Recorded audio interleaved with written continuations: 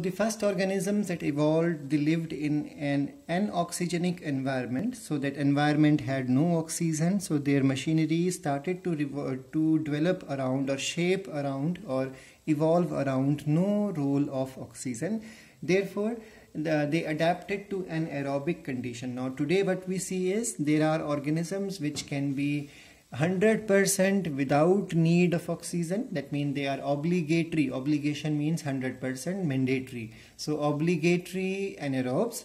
Otherwise the second type possible is facultative. Facultatives are those which are sometimes moving from aerobic condition or moving from the anaerobic condition. In any case all living organisms retain the enzymatic machinery. So whether we are uh, prokaryote or eukaryote, whether we talk about obligates or facultative organisms, whether aerobic organisms or anaerobic organism, we all retain one mach enzymatic machinery to partially oxidize glucose without the help of oxygen and this machinery or mechanism is called as glycolysis. This shows evolution has occurred because it, this glycolysis is a common step of respiration for whether we are prokaryotic organisms talking about or whether we are talking about the eukaryotic organism. Now glycolysis is a Greek word which stands which comes from the two Greek words glykos and lysis. Glykos means sugar and lysis means splitting. So the, the glycolysis, the word glycolysis, uh, this concept of glycolysis was explained by three scientists, Embden, Meyerhof and Parnas. So three scientists, they contributed to the complete understanding of glycolysis pathway. That's why it is called also to honor them as EMP pathway. Here E stands for Embden M stands for Meyerhof and P stands for Parnas and uh, just before in the uh, previous video I spoke about that this is the common respiratory pathway uh, because whether we are eukaryote or prokaryote anaerobes or uh, aerobes obligate or facultative, one common thing between all respirations is the common respiratory pathway or glycolysis. So we all start breaking glucose by the first common step and that is glycolysis. Now remember that uh, it is an oxidative process in which uh, glucose is broken down into two molecules of pyruvic acid and it, uh, it is the it is common to both aerobic as well as anaerobic respiration and glycolysis always occur in the cytosol or you can say the cytoplasm of all living organism.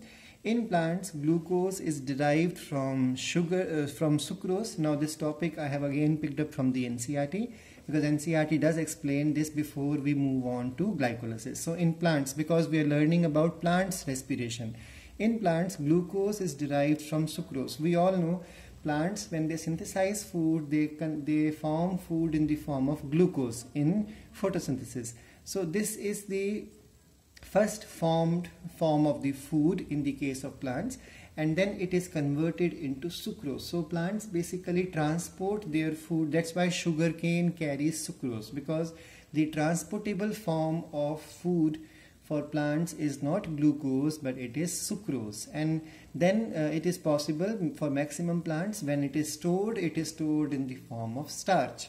So uh, plants have sucrose in them and the sucrose is, is a disaccharide glucose is a monosaccharide if you remember ninth chapter biomolecules.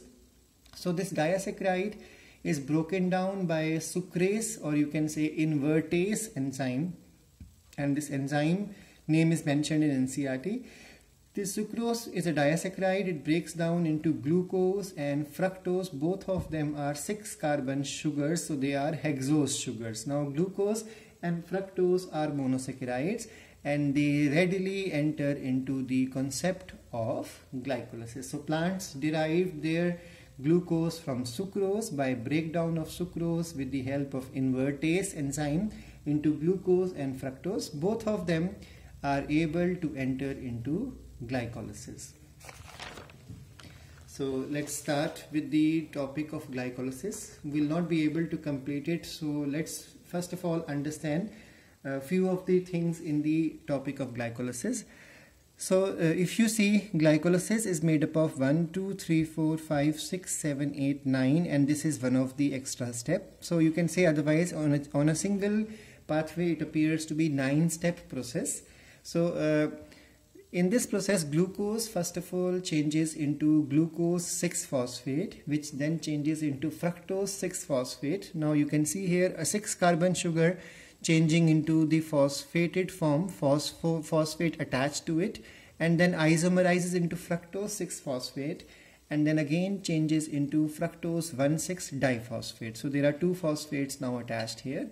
Now after this, it start it splits into three carbon sugars. So this is a three carbon sugar. This also is a three carbon sugar.